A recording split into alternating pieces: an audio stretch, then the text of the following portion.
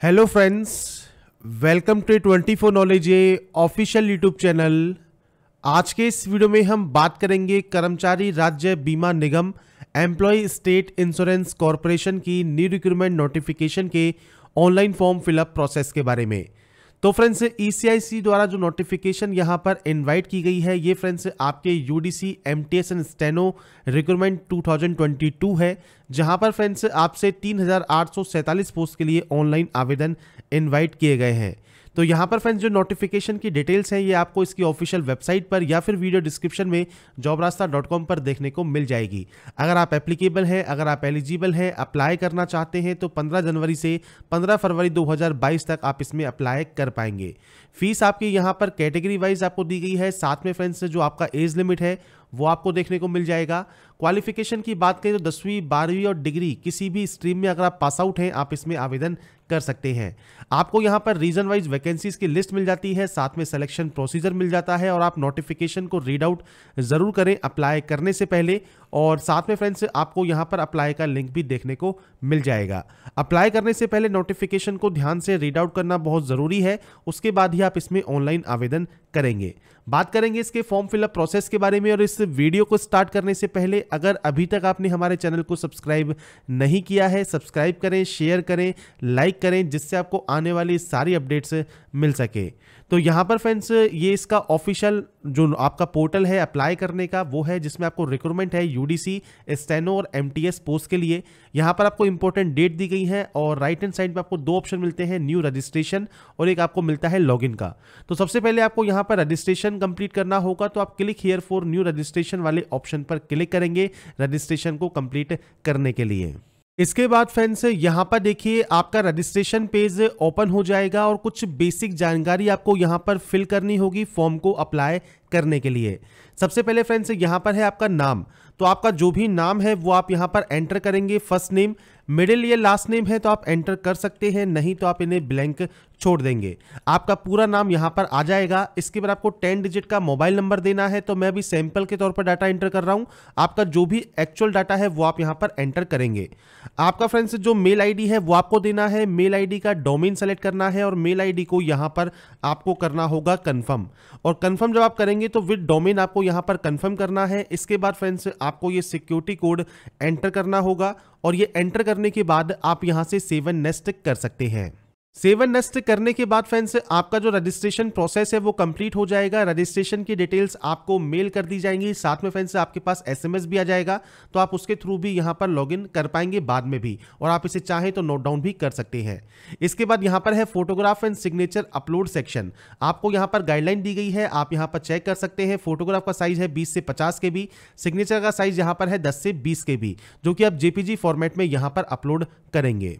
तो यहाँ पर फ्रेंड्स फ़ाइल अपलोड करने के बाद आपको देखिए सैंपल देखने को मिल जाएगा और अगर आप सेटिस्फाई हैं फ़ोटो एंड साइन से, उसके बाद ही फ्रेंड्स आप यहाँ पर दिए गए नेक्स्ट स्टेप पर क्लिक करेंगे। इसके बाद फ्रेंड्स यहाँ पर देखिए जो आपका नेक्स्ट ऑप्शन है डिटेल सेक्शन ये आपका ओपन हो जाएगा और डिटेल सेक्शन ओपन होने के बाद सबसे पहले आपको पोस्ट सेलेक्ट करनी है। स्टेनोग्राफर यूडीसी या एमटीएस जिस भी पोस्ट के लिए एप्लीकेबल है, जिसकी पोस्ट के लिए अप्लाई करना चाहते हैं, वो आप सेलेक्ट कर सकते हैं।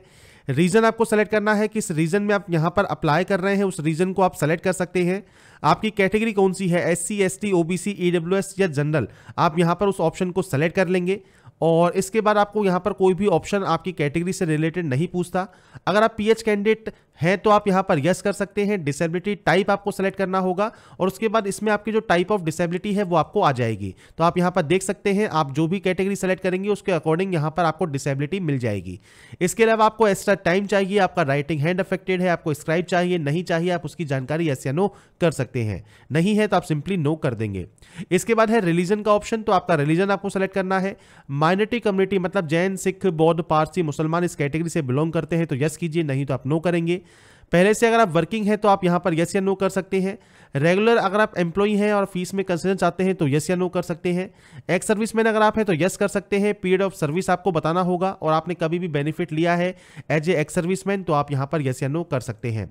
इसके बाद फ्रेंड्स यहाँ पर है एनी अदर कैटेगरी जो कि फ्रेंड्स आपके रिलैक्सेशन के लिए है एज के लिए तो आप यस कर सकते हैं। और यहाँ पर फ्रेंड्स आपकी कैटेगरी आपको मेंशन करनी होगी, जैसे ओबीसी है एससी है एसटी है, किसकी वजह से आप यहाँ पर एज में रिलैक्सेशन चाहते हैं। अगर आपको एज में रिलैक्सेशन नहीं चाहिए तो आप नो कर सकते हैं। नेशनलिटी सेलेक्ट करनी है। आपका प्री एग्ज़ाम का सेंटर आप कहाँ लेना चाहते हैं तो वो आपको सेंटर यहाँ पर चूज़ करना होगा।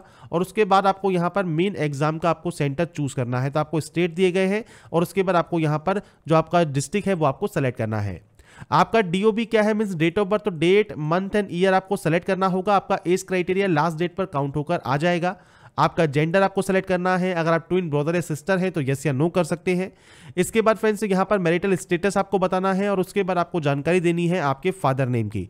फादर नेम की एंट्री करने के बाद आपको एंटर करना होगा आपका मदर नेम और इसके बाद है स्पाउस नेम स्पाउस नेम मतलब पति या पत्नी का नाम। अगर आप मैरिड या कोई अदर कैटेगरी चूज़ करते हैं और ये आपका इनेबल होता है तो आपको ये देना ज़रूरी होगा। एड्रेस फॉर कॉरेस्पॉन्डेंस होता है आपका प्रेजेंट का एड्रेस प्रेजेंट में आप कहाँ रहते हैं? तो आपका यहाँ पर प्रेजेंट का एड्रेस आपको देना है, आपका डिस्ट्रिक्ट आपको मेंशन करना है, आपका स्टेट आपको सेलेक्ट करना होगा और आपका पिन कोड आप यहाँ पर फिल करेंगे। अगर आपका प्रेजेंट और परमानेंट एड्रेस सेम है तो आप सेमस पर क्लिक कर सकते हैं। अलग अलग है तो आप अलग अलग एंट्री करेंगे। अमाउंट की जो फ़ीस है, वो आपको मिल जाएगी। इसके बाद आपसे पूछा गया है do you want to receive refund of fees the same channel by which you paying fees तो यहाँ पर फ्रेंड्स ये ऑप्शन आपका एप्लीकेबल नहीं होगा और जिनका ऑप्शन ये एप्लीकेबल होगा जैसे एस सी कैंडिडेट के लिए तो उनको यहाँ पर अपना अकाउंट नंबर देना है। अकाउंट आपका किस तरह का है? बैंक का नाम क्या है? ब्रांच नेम क्या है? आई कोड क्या है? और अकाउंट होल्डर नेम क्या है? ये आपको बेसिक जानकारी यहाँ पर फिल करनी होगी। अगर आपका फ़ीस रिफंड वाला ऑप्शन आपका एक्टिवेट होता है तो आप यहाँ पर यस कर सकते हैं। और उसके बाद अपने अकाउंट की डिटेल आप दे सकते हैं, जिसमें आप अकाउंट में चाहते हैं। अगर आप सेम में चाहते हैं तो यस कर सकते हैं। सेम में नहीं चाहते हैं, अलग किसी अकाउंट में चाहते हैं तो आप अपनी जानकारी प्रोवाइड कर सकते हैं। तो ये आपके ऊपर डिपेंड करता है। आप यस करते हैं या फिर नो करते हैं।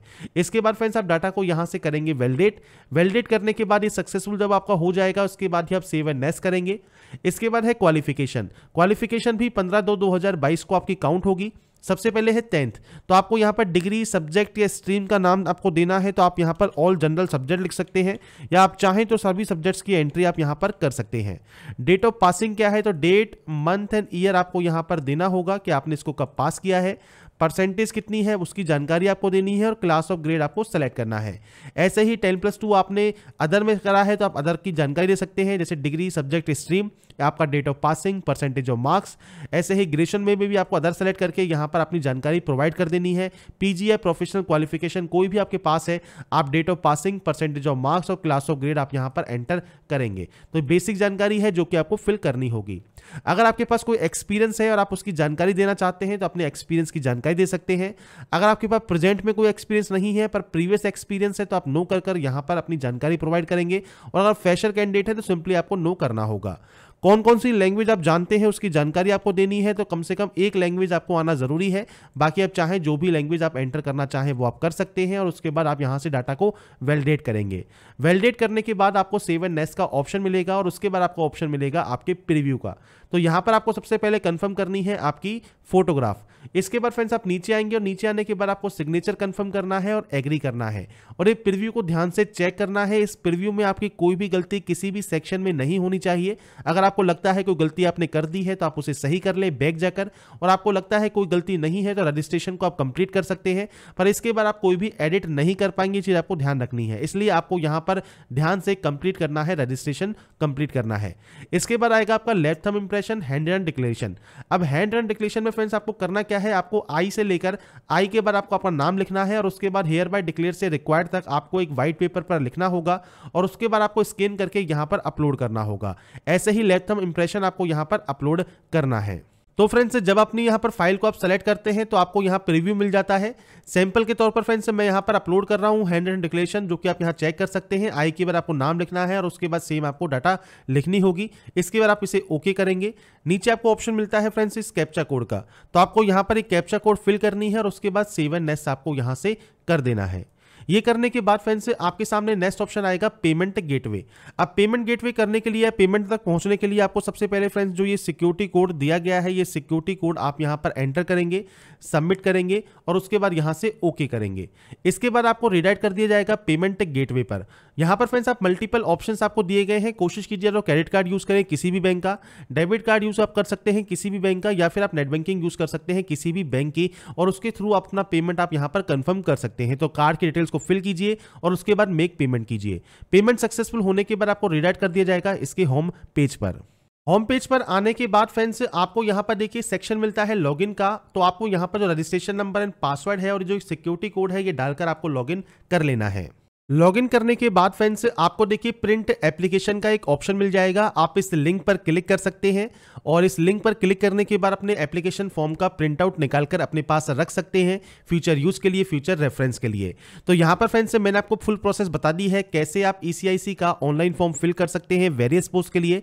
अगर आप एप्लीकेबल हैं एलिजिबल हैं अप्लाई करना चाहते हैं अप्लाई कर सकते हैं, और अगर आपको हमारा ये वीडियो पसंद आया है और आप चाहते हैं ऐसे ही अपडेट्स आपको लगातार मिल सके तो लाइक सब्सक्राइब एंड शेयर ज़रूर कीजिए। बाकी की जानकारी के लिए ऐसे ही बने रहिए हमारे साथ, देखते रहिए हमारा YouTube channel and last thanks for watching